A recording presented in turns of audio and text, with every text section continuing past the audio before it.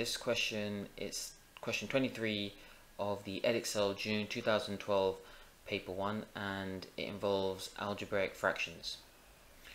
Right, so if we have a look at part A, it says simplify fully and what we have here is we have an algebraic fraction because the numerator and the denominator consists of algebraic terms. You've got an x squared, a 3x, a 2x squared and a minus 5x. So this is called an algebraic fraction. Okay, the best way to approach this type of question here is to always factorize this expression here, the, the x squared expression first, or the, the easier um, quadratic expression. Because what this will do is it'll give you a big clue on factorizing the case where the coefficient of x squared is greater than 1. So when you factorize the top, it will you know give you a big clue on how to factorize the bottom because one of those brackets will be identical it will be the same as one of the brackets on the bottom because if you if you were to factorize the top and the bottom and it didn't it didn't actually cancel in the end I mean the question would be a bit pointless. I mean there's no point factorizing the top and the bottom if it doesn't eventually cancel. So what you would expect is one of those brackets on the top will be identical to um, one of the brackets on the bottom. Okay, so let's go ahead and factorize the expression on the top. Okay, so as a higher tier student, you should know how to do this. Okay, so what you're doing is you're looking for two numbers that multiply to give you uh, minus 4 and add or subtract to give you this plus 3, this constant in front of the x term. So, okay, you know if you go by the, the FOIL method, as it's in x squared, you know it will be set out in this form. So you're going to have an, an x here, and you're going to have an x here. Because if you think about the firsts in the FOIL method, x times x is equal to x squared. So you know it's going to be in this form. Right, so you just got to think about those two numbers that multiply to give you minus 4 and add or subtract to give you plus 3, which is the constant in front of that x term. Okay, as this is a, a minus, a minus 4, what that means is one of these brackets has to be a positive and the other one has to be a negative. So I could put a plus in there and I can put a minus in there. Okay, the reason why one of these has to be a plus and the other one has to be a minus is because, well, if you think about the FOIL method, if you think about the last two terms, so whatever number is in here, whatever term is here, and whatever term is here, to get a, a negative term in there, so when you multiply these two terms, to get a negative answer, one of those terms has to be a plus and the other one has to be a minus because when the two signs alternate, when there's a plus and a minus, um, that gives you a minus number. Okay, so if you have a look at this, there's only two combinations. You can either have a 2 and a 2 in there, or you could have a 4 and a 1.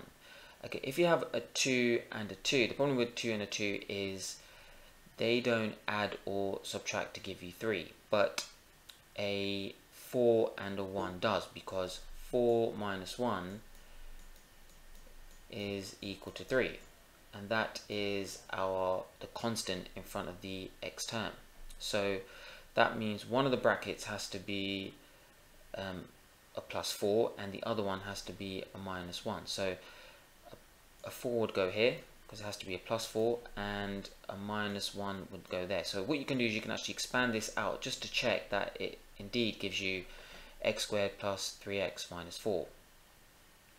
Okay, so that's the, the top bit factorize. Now we just need to focus on the, the denominator. Okay, so as I was saying before, one of these brackets will be identical to one of the brackets at the bottom. Okay, so if you have a look at this quadratic expression at the bottom, uh, we have, well, if you look at the constant in front of the x squared, it's a 2. Um, it's prime, which means it has to be in this form. We're going to have a 2x here, as it is prime, we're going to have a 2x there, and we're going to have an x there. Because again, if you think about the first in the FOIL method, 2x multiplied by x gives you this, this first term, this 2x squared. Okay, so it has to be in this form. Okay, and as this is positive here, this is a plus 3. Think about the c term, it's a, it's a plus 3. That means the signs of the brackets has to be both plus or both minus because again, if you had a plus and a plus there, um, if you multiply those two last terms, it gives you a plus, two uh, plus signs, it's quite obvious. Even if you have two minus signs in there, remember a minus and a minus, if you think about the sign rules, gives you um, a plus as well. Two minuses make a plus. Okay, so as I was saying before, one of these brackets is going to be identical to one of the brackets at the bottom. So it looks like it's going to be this bracket here. So this bracket has to be either a minus 1 or a plus 4 because 2x doesn't match any of these two forms. So what you have to do is you have to have a little think about it. Um, again, what you're looking for is, well, what you need to do is you need to play around with the combinations. So you have to think about the outsides and the insides in the FOIL method. So because remember that you can't put that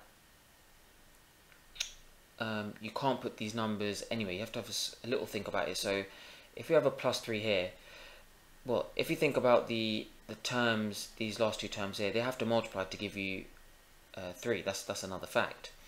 So as 3 is also prime that means that the only two numbers that could go in there is 3 and 1 okay so and another um, fact is as I was saying before is the one of these brackets has to be identical to the bracket at the bottom. So, I mean, the only possibility it could be is this has to be a minus 1 there.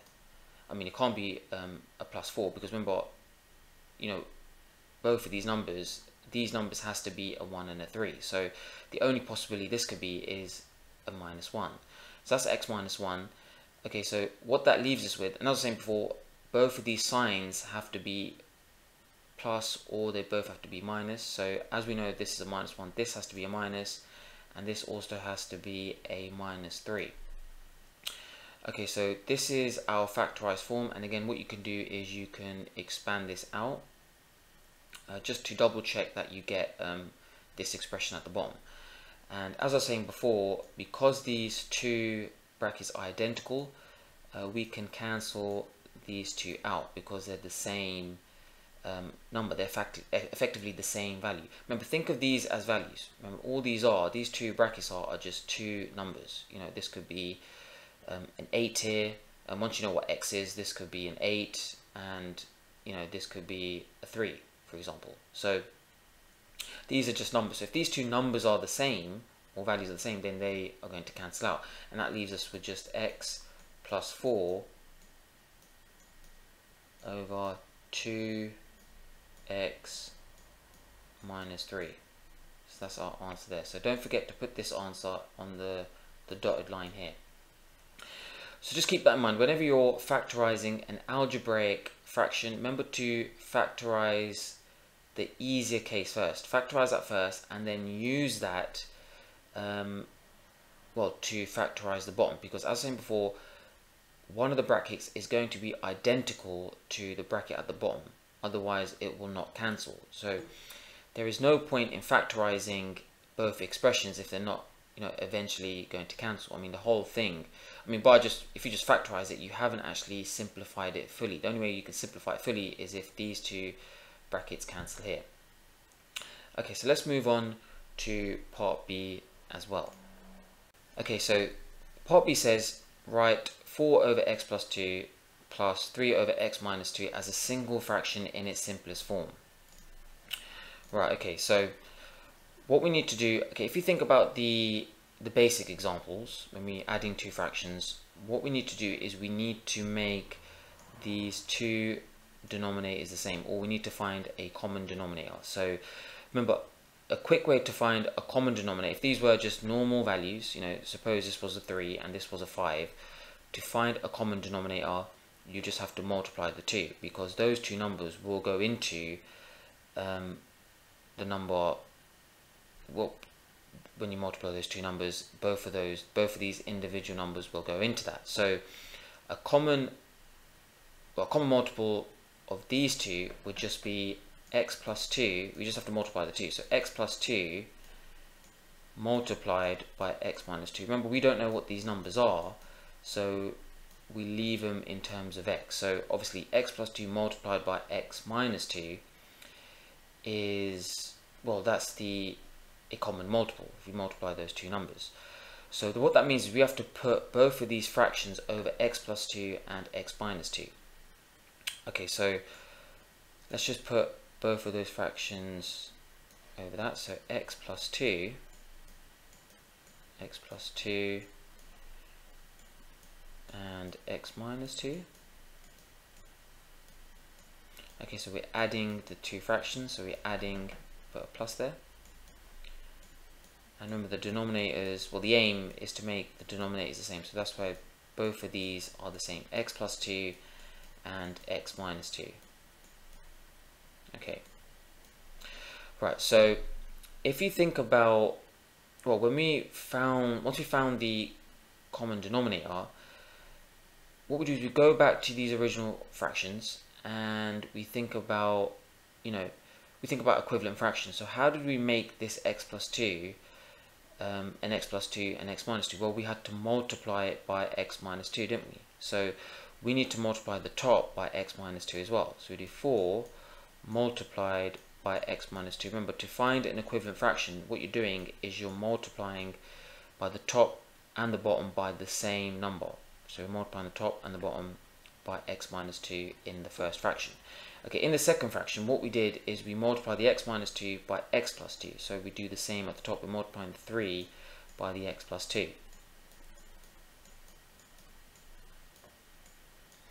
Okay, so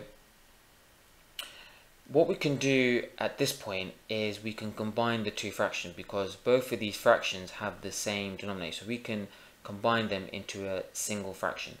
Okay, just before I do that, what I want to do is I want to talk about this denominator here because this is an example of a difference of two squares because if you think about the difference of two squares formula, it's like this. So we have a squared minus b squared is equal to a plus b a plus b and a minus b. Remember this is a rule. So a squared minus b squared is equal to a plus b in brackets and then a minus b. So this is an example of a difference of two squares because if you compare it with this rule here, a is x in this case and b is equal to 2. So what this becomes, if you were to I mean, you can even expand it out as well, but when you once you expand it and simplify it, what you'll get is you'll just simply get this. So if we were to combine the two fractions, we multiplied out the bottom, what that will simplify to is if a is x and b is 2, we would have x squared, a squared, or x squared, and minus 2 squared. 2 squared, which is just uh, 4.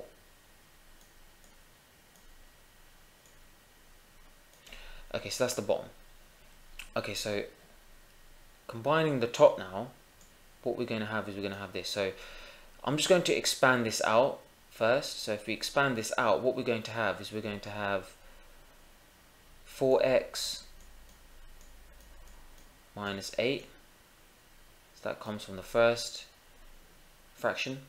And then we have plus